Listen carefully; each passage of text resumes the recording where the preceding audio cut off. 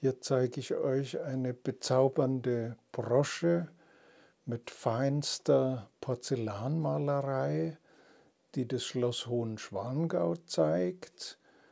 Und eventuell ist das ein Geschenk Ludwig II., aber das ist nicht mit Sicherheit zu sagen.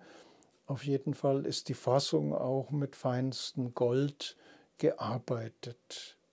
Ihr wisst ja sicher, dass äh, das Schloss Hohenschwangau sicher der glücklichste Platz in der Kindheit Ludwig II. war, wo er sehr gern war, von wo aus er große Ritte und Kutschfahrten unternommen hat, herrliche Picknicks unternommen hat, im Schwansee oder Alpsee geschwommen ist und gefischt hat, große Hechte dort gefangen.